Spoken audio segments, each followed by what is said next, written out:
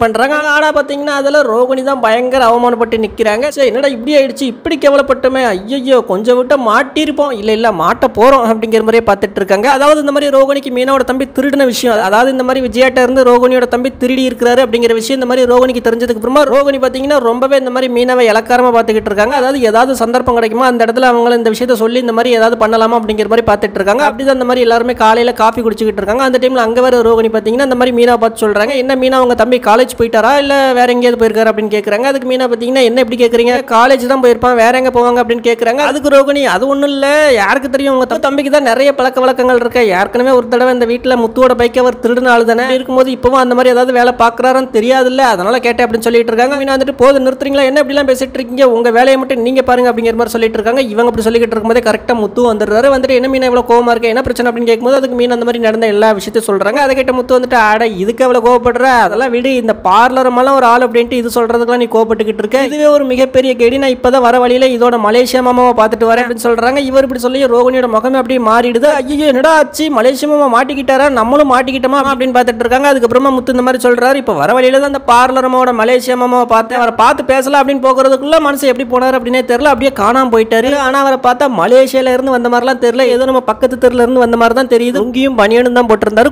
கூட ஒரு ஆடையும் கையில வச்சிருந்து எனக்கு என்னமோ ரொம்ப சந்தேகமாவே இருக்கு. மீனா அந்த மலேசியா சிங்கப்பூர் அப்படின்னு சொல்றதெல்லாம் பொய் அப்படிங்கிற மாதிரி தான் தெரியுது. அப்படி இருக்கும்போது அந்த பார்லரமா சொல்ற விஷயத்துக்குலாம் நீ கோபப்பட்டு இருக்காது அப்படின்னு சொல்லிட்டு இருக்காரு. அதை கேட்ட ரோகிணி பாத்தீங்கன்னா ஐயோ என்னடா இப்படி சொல்லிட்டா? நம்ம இவங்களை கேவலப்படுத்தல அப்படின்னு நினைச்சா அவன் நம்மளை கேவலப்படுத்திட்டானே அப்படிங்கிற மாதிரி பார்த்துட்டு இருக்காங்க.